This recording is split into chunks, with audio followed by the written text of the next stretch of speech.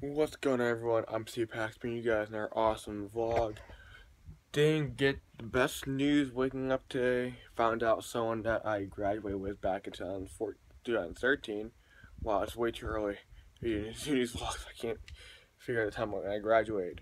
Um, that was found dead. So, guys, um, he was missing since Monday, so it's been about four or five days since then, and they found this morning that they found his body. This is horrible news. Him being 21, it's like myself.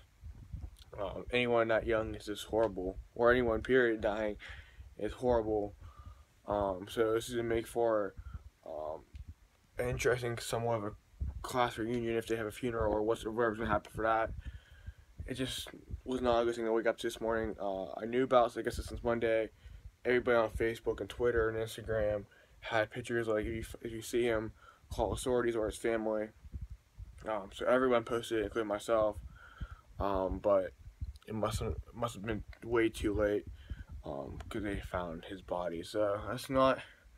It's a horrible way to start the morning. Definitely prayers for his family.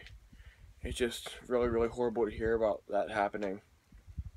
Um, investigations will continue for a while uh, to find out what happened, but it just really, it's really, really not good. It's really sad especially since I, I did know him, um, and we went to school together, I think, since middle school, so it's tough. Um, it's gonna be, if they do, like I said, they have a funeral, it's gonna be not the typical class reunion that we all wanted to have. Um, rather have a happy, joyful one than a sad one like it's gonna be. If they have a funeral, or whatever's gonna happen there, and when it's gonna happen. But, yeah, it's just really, really shocking news today. Didn't expect that to happen at all. Um, but I'll, I'll, let you guys know on what's going on with that, kinda. The more information I get, if anything updates.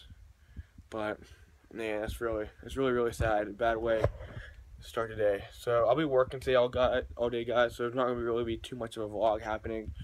Uh, I'll be working probably now, or probably in a half hour um, till again maybe nine o'clock ish. We'll see. So really not much of a vlog gonna be happening today. I'm gonna be I'm gonna be pretty tired when I get home. So that's what's going on now, guys. Thank you guys for watching, and I'll try to keep you guys updated on what's happening with that whole whole um, tragedy we had this morning. So uh, thank you guys for watching, and I'll see you guys later.